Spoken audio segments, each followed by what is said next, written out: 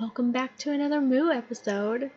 So, um, in my fun things to do in Moo, we talked about a little bit about lore in the library, um, and I showed you the statues. One of the books, if you haven't been in here, is The First Dance. This book connects one of the statues. So let's go over this together.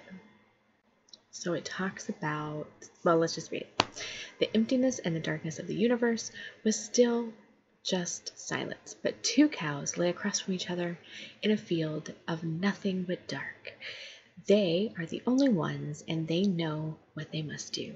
Their bodies moved gracefully and beautifully as they stood from the rest, the darkness being torn by pure light fur.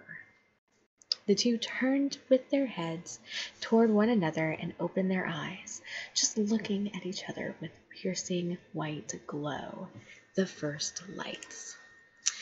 They curved their bodies around one another in a form of dance, prancing around themselves in a loop, dark turns to light.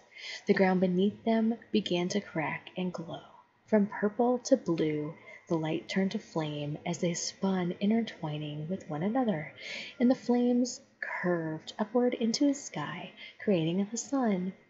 As things began to form, the structures began to grow, flowers bloomed, and hope rises throughout the darkness.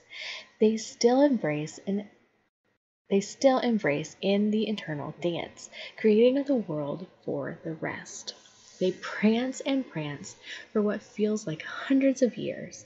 As slowly as the world grows around them, the cave becomes darker and darker as the fog consumes their dance. Clouds form as grasses blows in the wind of fields. And as the rest of as the rest begins to birth and grow, and as the world opens its eyes, and breathes its first breath, the two dancing turn into stone.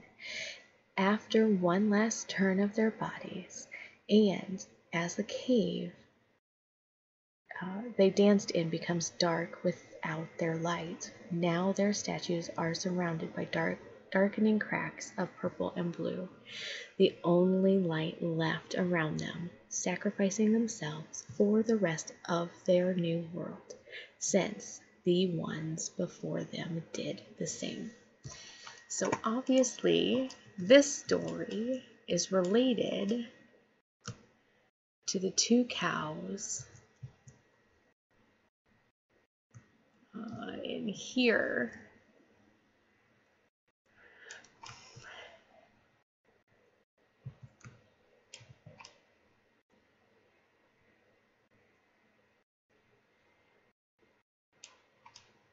They sacrificed themselves so that we could have the world of Moo. Just one little piece of lore for you guys today.